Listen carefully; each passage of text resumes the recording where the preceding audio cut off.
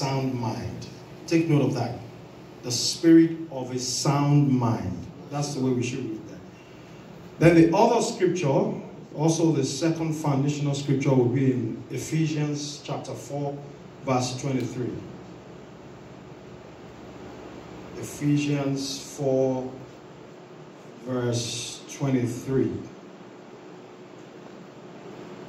And it says, And be renewed in the spirit of your mind. Be renewed in this. Also, mark that word again spirit of your mind. So, if you look up the meaning of soundness in the dictionary, this is what it says the state of being in good condition. Now, as believers, everything that we do has to be of the Spirit. So, if we're talking about being in good condition, we have to talk about our spirit, soul, and body.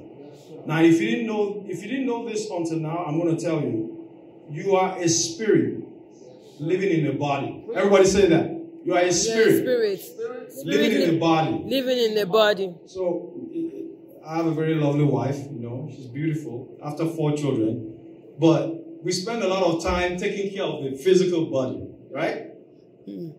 But I tell you what, the real you is the spirit. Yes, So when we talk about soundness, we're really talking about soundness in the spirit.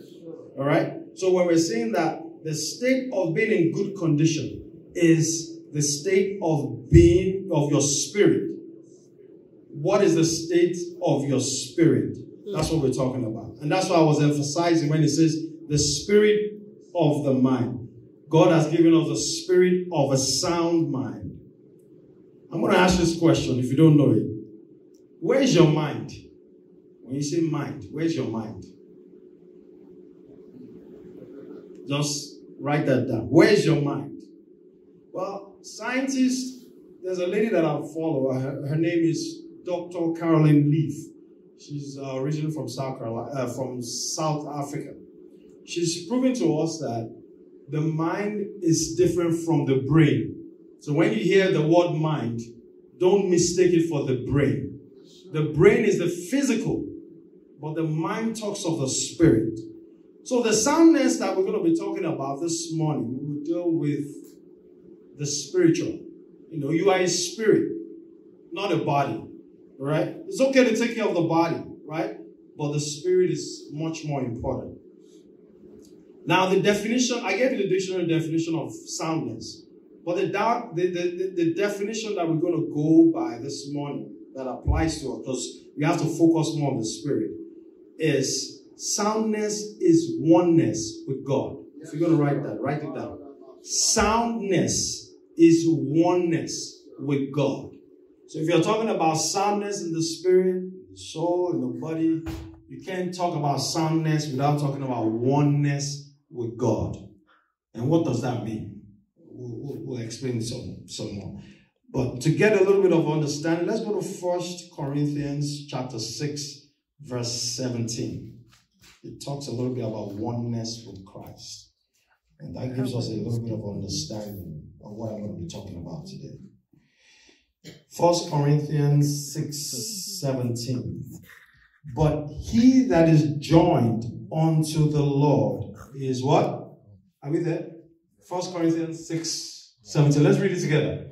But he that is joined unto the Lord is one spirit.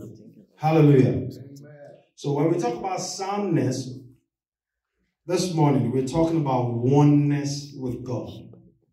Beloved, that's the key to life. Oneness with God, your relationship with God. And that's why I'm, i want you to get it into your mind. You are a spirit, not a body. You are a spirit. You live in a body.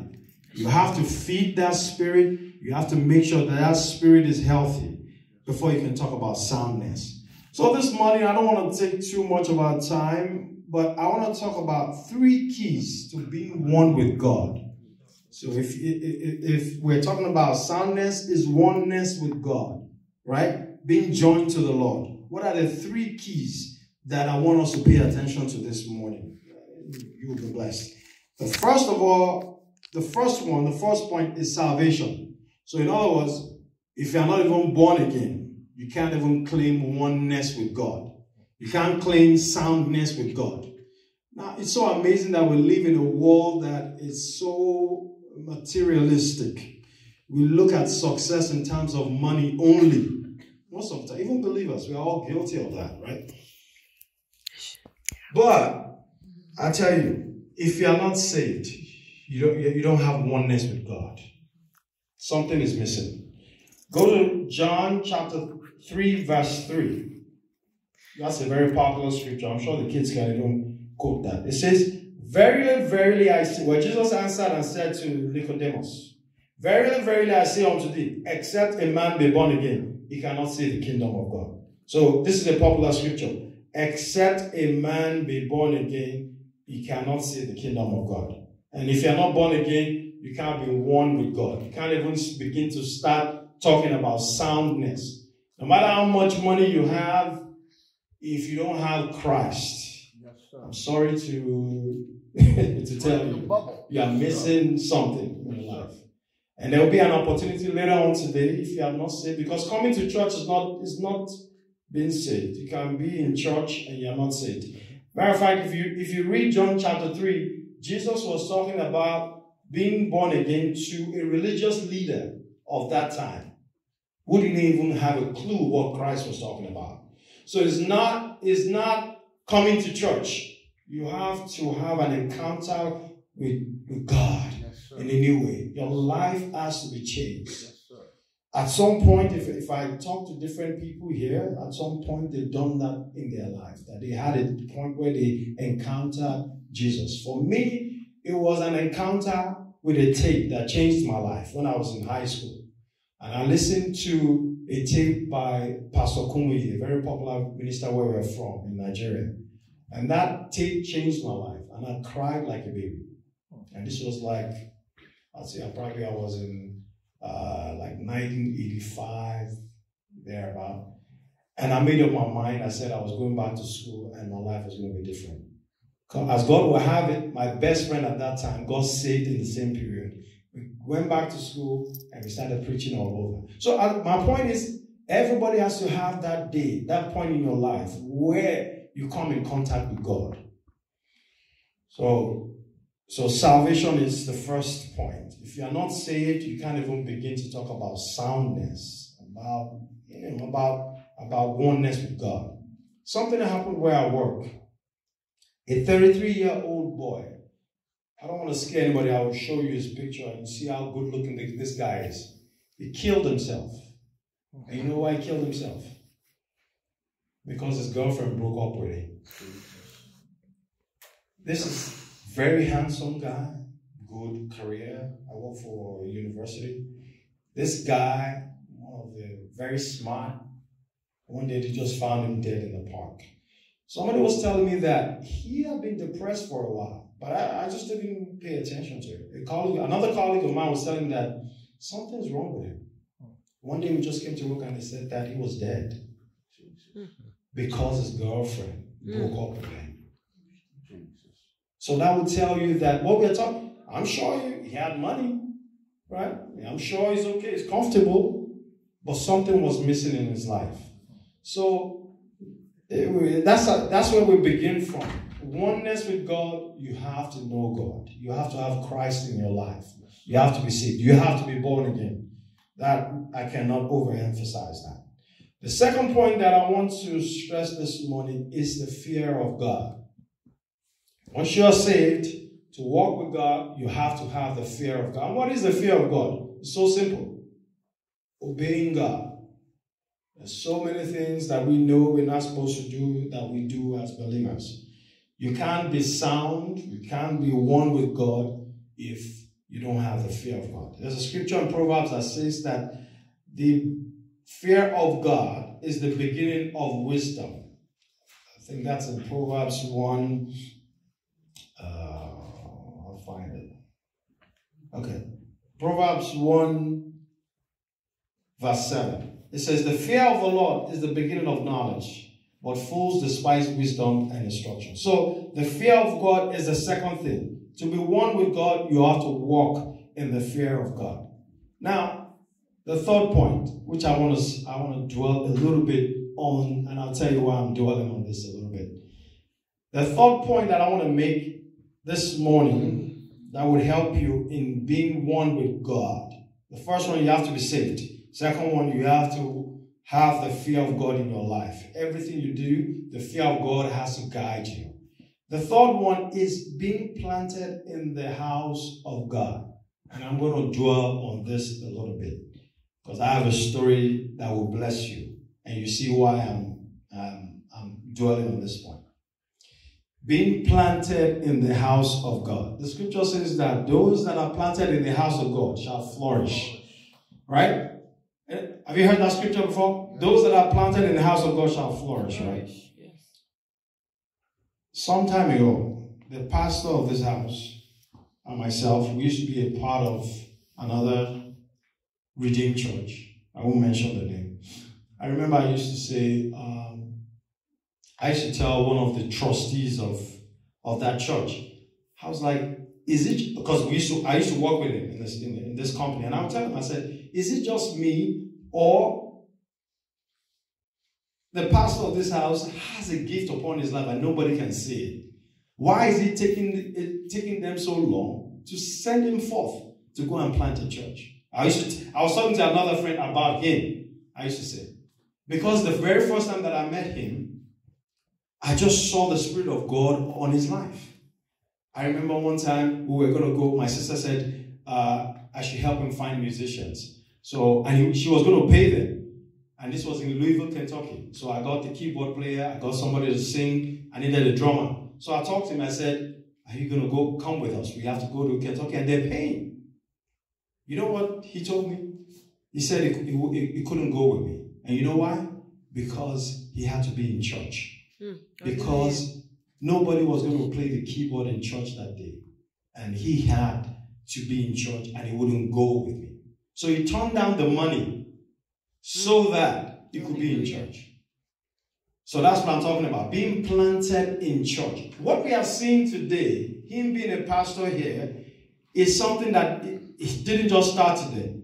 This is something that, this is the way he has lived his life all this point.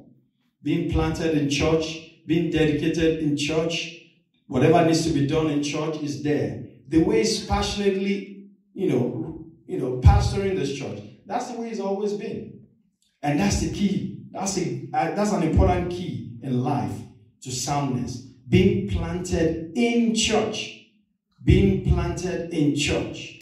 Find a good church where you are planted, where you are working, whatever needs to be done, you are serving there. The blessing is going to come forth from there. Amen. I'll tell you a personal story.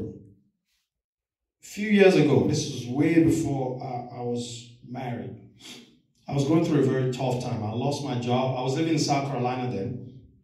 I lost my job, and my sister was living in New Jersey then. She was like, Why don't you maybe move to a different state? Maybe things will be different. So I moved to New Jersey, living with my sister. So I left.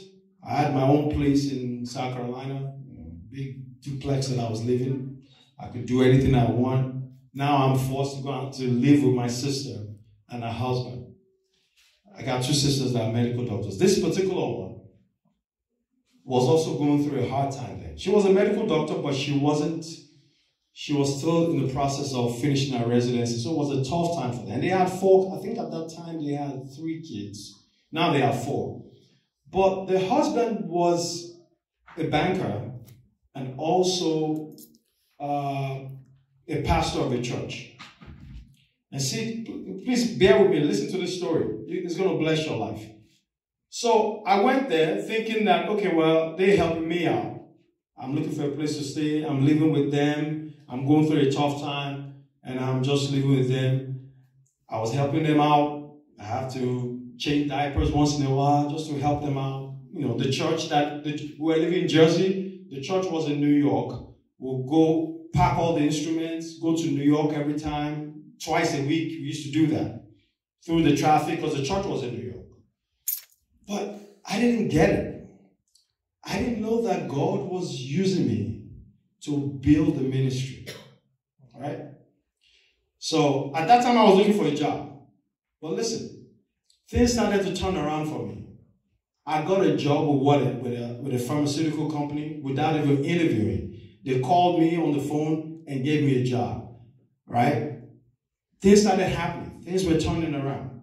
I was feeling myself. I thought I didn't get it then that part of the blessings that was coming my way was because I was being planted in the house of God. But I didn't get it. Right? You know what happened? The devil, I, I would say the devil, the devil made me see that, but your, your sister, she's struggling. And I felt very bad for her. She was struggling. She was a medical doctor at the time, but she hadn't finished. And every time I saw them, even though I was being of help to them, I was just, I, I just didn't, I didn't feel comfortable. So I left the church. Hmm. Hmm. Did you get it? I left because I didn't want to watch my sister go through. And I, in my mind, I was blaming my brother-in-law that why, why is he making my sister go through this? And she's a doctor. I missed the point. The point was I was there to be a blessing to them, to help them build their ministry. Mm-hmm. And I was getting the blessing mm. as a result of that. It wasn't because I was smart. I mean, I got the job with Pfizer over the phone just in a couple of minutes. I'm thinking maybe because I was praying. No, but I was a part of a ministry at the time that I was being a blessing. I was being planted into the church. And I should have stayed there, but I left. I didn't get it because of what my sister was going through. So much later in life, and I'm, I'm not going to tell you, I'm not wasting too much of the time, but I missed out a lot of opportunities because I left that church, right?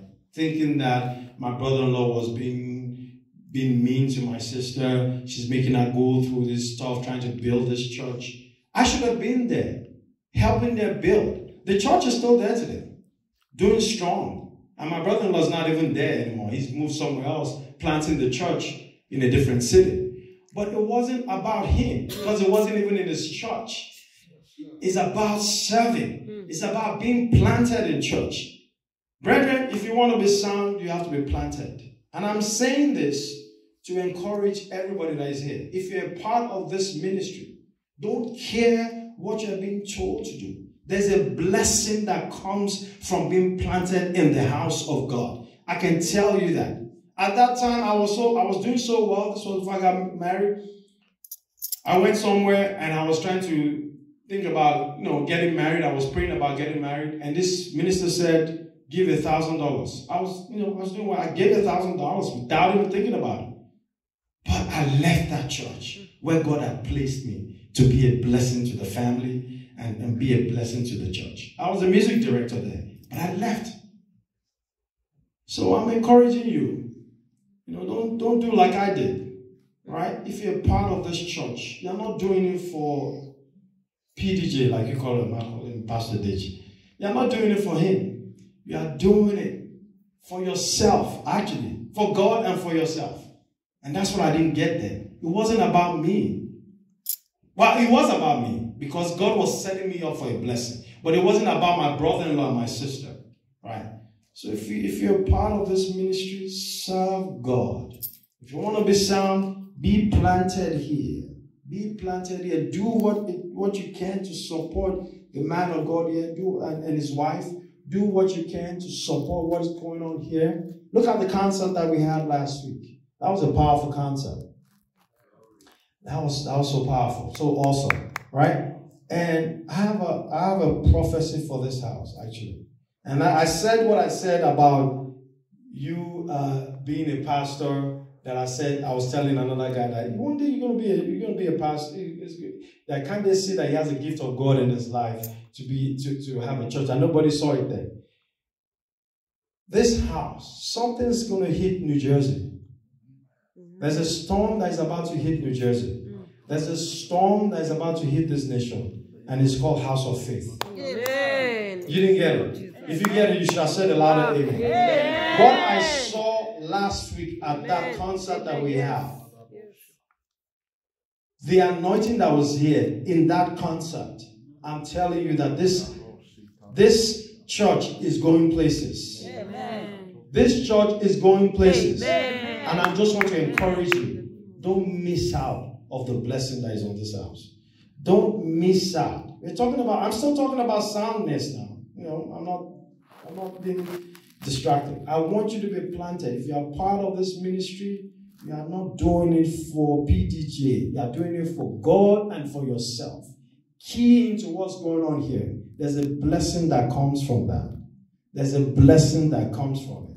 After I left my sister's church, I, I, I enjoyed the blessing in a while, all the money that was going on, and they almost canceled my contract with Pfizer. Hmm. Then I woke up again.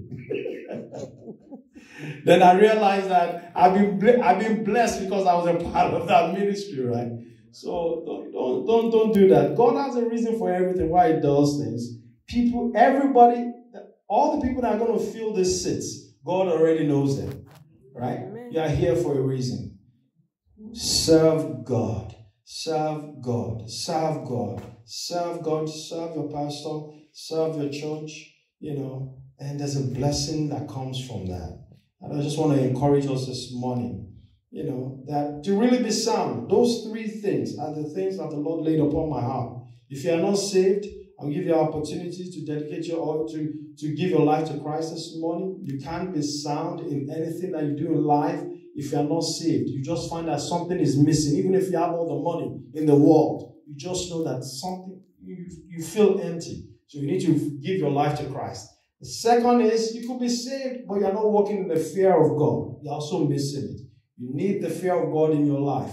And if you are walking the fear of the Lord, but you are not planted in the church, because there are some people there, if you call them, what church you go to? They don't have one. They go from church, from one church to the other, from one church to the other. And I'm telling you, I'm not bragging, but I was born in a church. I've seen pastors, I've seen churches I think I was telling my wife, there's a big church in Nigeria. Uh, uh, it's called House on the Rock. When the man started that church, I was one of the people that played the bass in his dad's house at Adeni Ijios. Paul Adefarasin. I played the bass. He didn't have a building then. We were playing bass. I played the bass at the night vigil when he was starting. But I saw something in him. And I knew that that church was still going to be big. His dad was uh, Justice Adefarasin at the time. And it was in his parents' bedroom, where that's where we had the first night vigil. I see, I've seen churches, and I've seen churches that will start small, right? And you see the greatness in them. And I've seen the ones that when they start, they, they, they, they, they, they, they're too worried about other churches and condemning other churches, and you can see how they're going to end. But I see something great about House of Faith. And I'm not just telling you, this church is going places. This church is going places. Key into it. What's going on here? And it's, it's gonna be it's gonna pay you pay off for you ultimately. Like I said, if you have not give your, given your life to Christ, we're going to give you an opportunity to do so today. Uh, shall we close our eyes? I don't care how much money you have. I don't care how successful you are in life, if you don't have Christ, it doesn't mean much. If you have never given your life to Christ, this is an opportunity, folks. That guy that I saw my job, saw him one day, the next minute, he was dead. And I thought, I wish I had taken time to share Christ with him. If you are in this building in this house this morning and you've never confessed Jesus Christ as your personal Lord and Savior, we're not trying to embarrass you. We're just telling you matters of the faith, things that will change your life forever. Can you signify by raising your hands? I will just say a small prayer with you this morning, and you'll be born again. It's, it's very easy. So I want to give you that opportunity. If there's anybody in the building, even if you're a little child, some people have given their lives as a kid at, at four or five years old, and their lives have been changed forever. So we, we, we're creating this opportunity right now, giving the opportunity. Maybe you've been coming to church, but you've never really committed your life to God. And give you the opportunity, can you signify by raising up your hand if you want to dedicate your life? Thank God for that hand. Is there anybody else? Is there anybody else that want to give their life to Christ? This is what it's all about. It's not just church. The reason why the church is here is so that we can bring souls into the kingdom. That's what it's all about. Thank God for that hand. Thank God for that. Is there any other person? Any other person? Any other person? Doesn't matter, it could be a kid. Are you raising up your hand? Can you rise up? Can you rise up? Can you give him a hand, please? Can you Any other person, please don't be shy. This is serious. This is serious. If you've never given your life to Christ and you want to do so today, please signify and raise up by raising up your hands. And I'm going to have the pastor of the house to lead you on the salvation, on the prayer of salvation today. Pastor. Hallelujah. Can you please come forward. Thank you, sir. Thank you. Thank you, Jesus.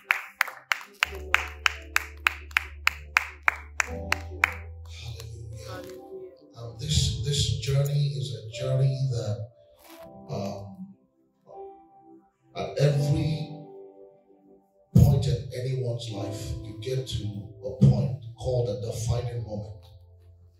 Um, I encountered a day like this, August twenty second, nineteen ninety four. Hmm.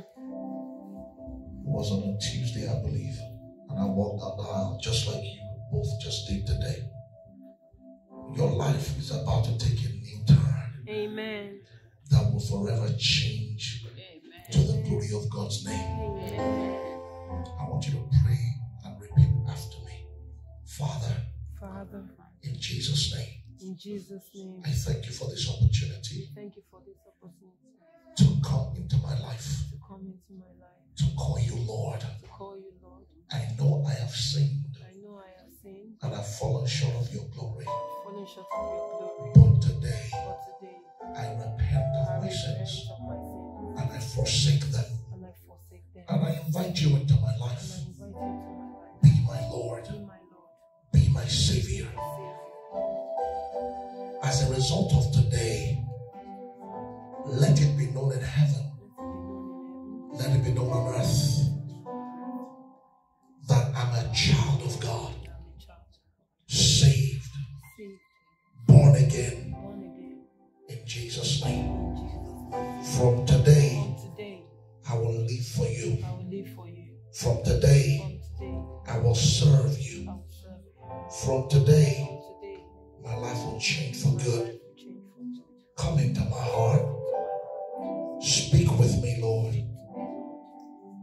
Speak with me, Lord. With me, Lord. And let me forever recognize your voice. Forever recognize your voice. In Jesus' name. In Jesus' name. Father, I pray for these ones as they make that decision this day to be born again. Ask Almighty God that you help their journey. The same way you've helped my journey. Help their journey of knowing who you are, of discovering you, of growing in